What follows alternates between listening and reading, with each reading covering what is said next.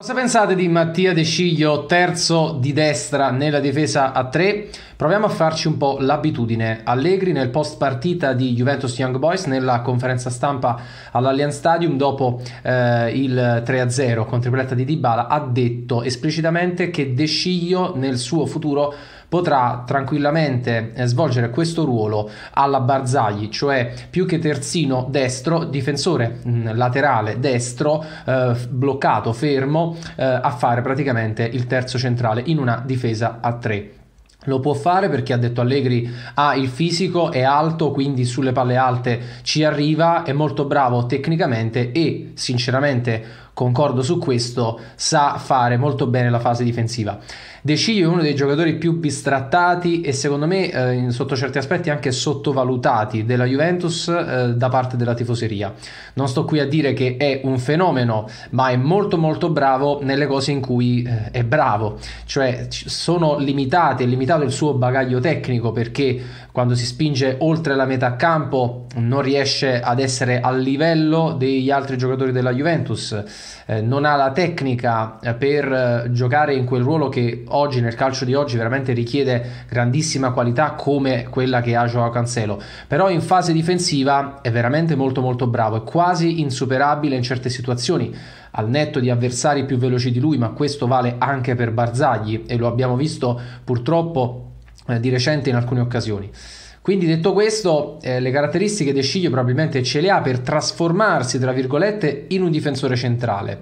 D'altra parte, eh, un insider come Luca Monblano di Juventus, che è stato il primo a parlarci di Cristiano Ronaldo alla Juventus questo scorso 28 giugno, ha scritto esplicitamente ieri che Allegri ha provato insistentemente eh, in allenamento la difesa a 3 composta da De Sciglio, Bonucci e Chiellini.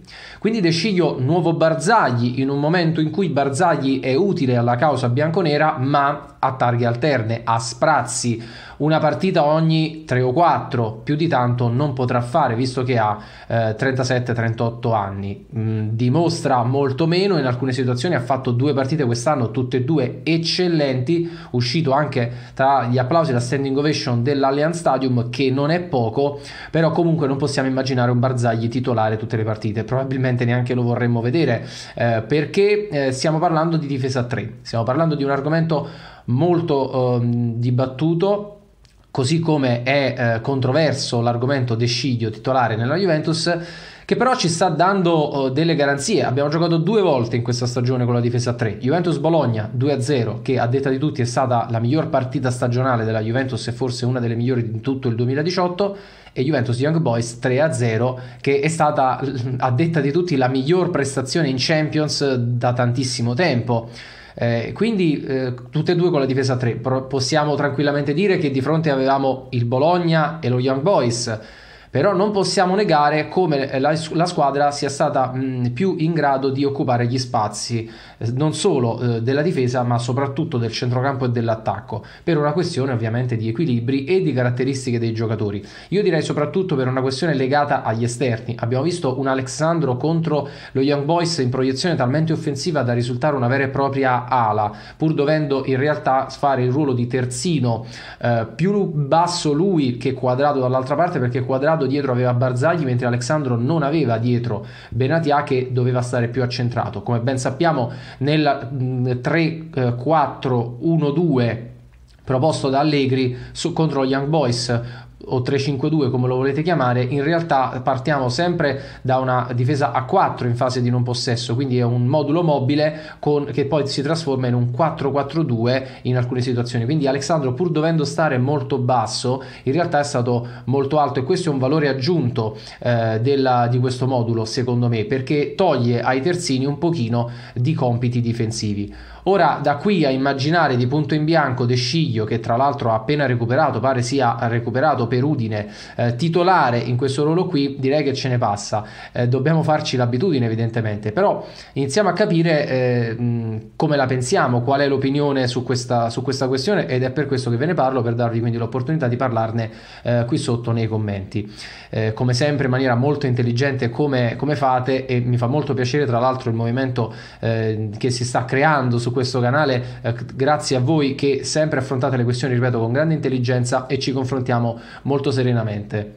io dal mio punto di vista penso che sia un'opportunità da tenere, da tenere, in conto per la Juventus, non dobbiamo buttare via nulla in sostanza, eh, qualsiasi giocatore che può rendersi utile in una maniera eh, bisogna assolutamente consentirglielo perché dobbiamo eh, utilizzare al meglio tutti i giocatori che abbiamo.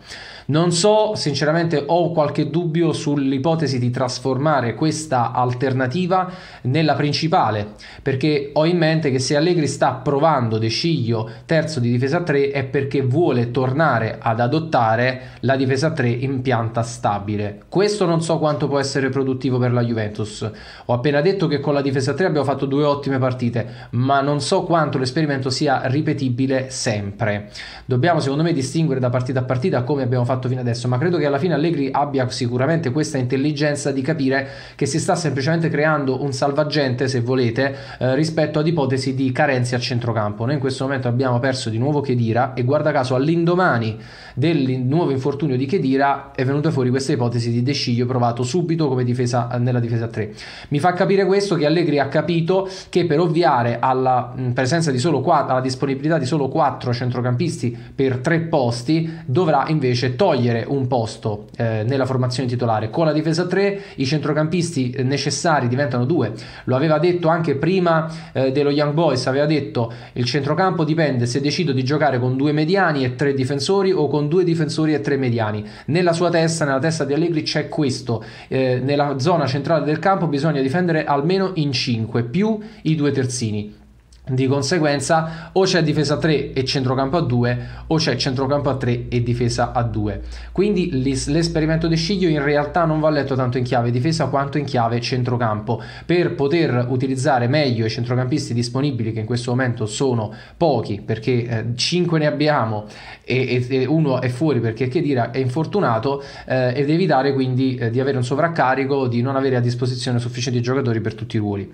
Questa è l'idea che mi sono fatto, ovviamente eh, è è un dibattito ancora acerbo perché dobbiamo capire come andranno le cose, dobbiamo capire quale sarà la formazione di Udine probabilmente mentre state guardando questo video, avrei dovuto precisarlo prima forse, eh, ha già parlato Allegri nella conferenza stampa di oggi alle 12 pre-Udinese Juventus e magari ha già detto che domani De Sciglio parte titolare nella difesa 3 e quindi eventualmente ci aggiorniamo domani su questa questione per il prepartita di Udinese Juventus. Fatto sta che è un'ipotesi che potremmo vedere di frequente nel prossimo futuro. Ditemi come la pensate, ci vediamo presto e sempre forza Juve.